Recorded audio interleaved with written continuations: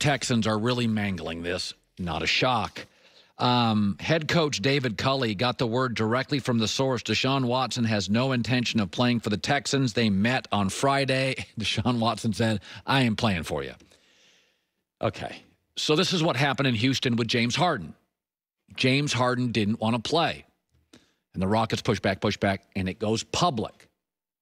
And then you got no leverage. And in the end, the Rockets now have lost nine straight. They're awful. James Harden is crushing it, and the Rockets kept waiting and waiting and waiting and got less in the end. The longer the Texans wait and the more public it goes, you're trapped. Remember, free agency. We've already seen Stafford with a new team and Carson Wentz with a new team.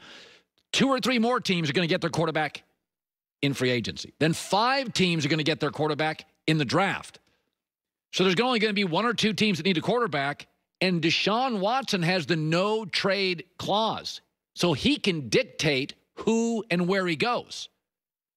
So the rule in sports has always been really simple. When a superstar wants out, make a deal before it goes public. I'll give you an example.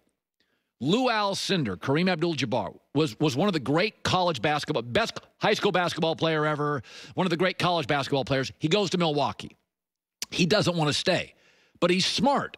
He realizes I'm not going to go public. He tells at a dinner the Milwaukee organization, I do not want to be here.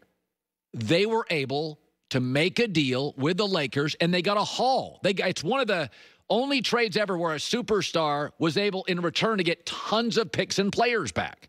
I'll give you another example. Uh, Paul George wanted out of the Indianapolis Pacers. Remember that? The Indiana, Indiana Pacers. And he went public. Pacers got two players. When he wanted out of Oklahoma City, he didn't make it public. Oklahoma City got five players and a rising young promising star at point guard. So if it doesn't go public, you have some leverage. You can call two or three GMs. Hey, I got this story, and uh, I got two teams hot. You're one of them. Let's go. And if they threaten to go public, you can just tell them, I'm giving you one chance to get him. I'm giving you one chance to get Deshaun Watson. Well, I'm not hanging this phone call up. I'm going to give you five minutes. Sit down with your people, make a decision. There's two teams that want him. You put the pressure on the teams and the GMs. But once it goes public, the GMs at the other teams put all the pressure on you. Why should we give anything up? He wants out. He's got a no trade clause.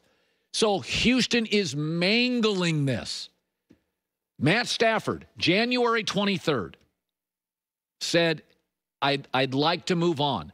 Seven days later, he's a Ram. What did the Lions get? A starting quarterback and a bunch of picks. They got a nice haul for it. The Lions got a, I don't know if they got the right coach. I don't think they do, but they got a haul for it. Oklahoma City for Paul George, got a haul for it. Lou Alcindor leaving Milwaukee, they got a haul for it. So, I mean, this is what's amazing to me. There are ways to do things when you own or run a team. And listen, you never want a star to want to go. Course, you don't want. Now it's out there in public. Every general manager picks the phone up with a smile on their face. Eh, I don't know. What am I going to give you? Eh, only, there's only two teams left that need a quarterback. We're one of them. He's got a no trade clause. I mean, can you imagine if all these teams make a move for a quarterback and it's down to New England? And Deshaun's like, yeah, I'll go to New England. And Belichick's on the phone. He's like, everybody else got quarterback. We're the only team left. He wants to come play for us. What do you think Belichick is going to give a goofy Cal McNair? He's going to give him an end table and a cup of Starbucks. You're not going to give him anything. So the longer you wait, the more you get butchered. You got to get on the phone and get this thing done before. By the way, the way this thing's working out now, we may have Russell Wilson on a new team in two hours. We, we have Sam Darnold and the Bears in three hours. You got to get going on this stuff. Joy with the news. No, no, no, no. Turn on the news. This